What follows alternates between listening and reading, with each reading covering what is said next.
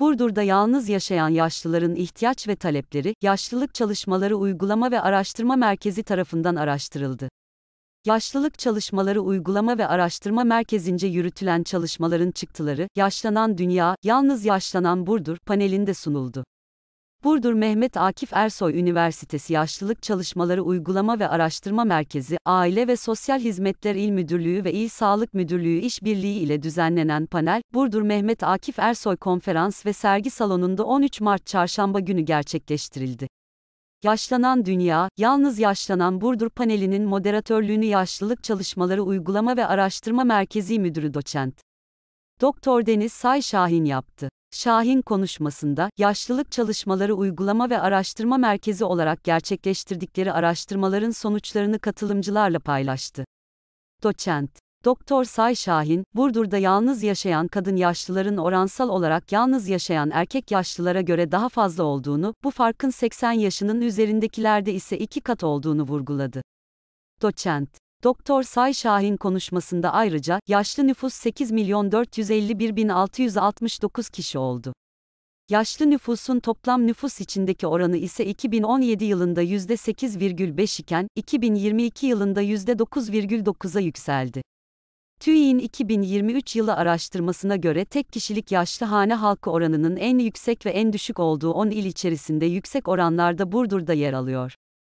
Burdur'da yaşlı nüfusu 65 yaş ve üzeri için 45 bini geçmektedir. Bilgilerini aktardı. Doçent.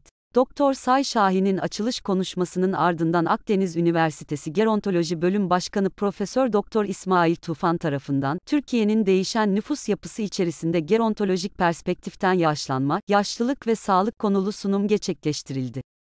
Yaşlanmak için yaşamak gerekmektedir. Vurgusunu yapan Tufan, yaşlanma ve yaşlılık süreçlerinin farklılık gösterdiğinin altını çizerek, Burdur'un nasıl bir yaşlılık serüvenine sahip olduğunu, yapılan alan araştırmasından gelecekte nasıl bir Burdur ile karşılaşacağımızı biliyoruz.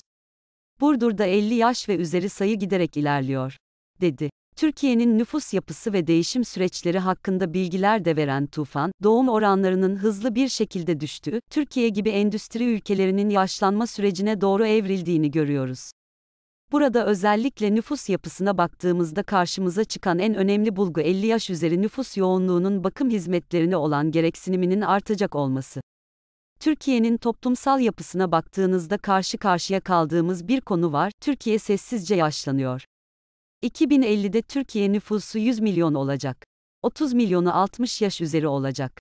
Bu popülasyonun büyük çoğunluğunu ise kadınlar oluşturacak. Kronik hastalıklardan muzdarip 60 yaş üzeri yaşlılar olacak.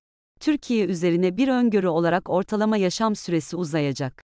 Kadına özgü bir mesele var, kadın daha uzun yaşıyor.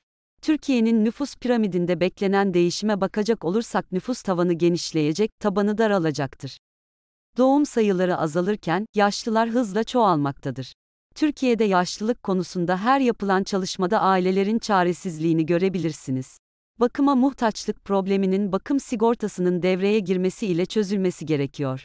Yakın bir gelecekte ülkemizde bakım sigortası da hayata geçecek. Kronik hasta yaşlıların sayısı da artıyor. 9 milyon yaşlının 4,1 milyonu kronik hasta. İnsanlara sorduğunuzda arkamı dönmüşüm ki yaşlanmışım diyor. Yaşlılık hızla geliyor. Yaşlanmaya hazırlık programlarına ihtiyacımız var. 40 yaşından itibaren ülkemizde bu programların yaygınlaştırılması gerekiyor. Sosyal hizmet bölümlerinin bu konuya el atması gerekiyor. Bu da milli bir meseledir. Türkiye'de yaşlı engellilerin sayısında da artış olduğunu görmekteyiz. Zihinsel, bedensel ve görme, işitme konuşma engelli sayısı artmaktadır.